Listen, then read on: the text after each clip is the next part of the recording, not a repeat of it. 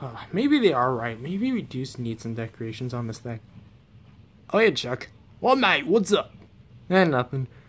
It's just we recently got our tree, and I was wondering if we really do need some, um, you know, some decorations up there. Well, mate, it sure looks pretty bland up there.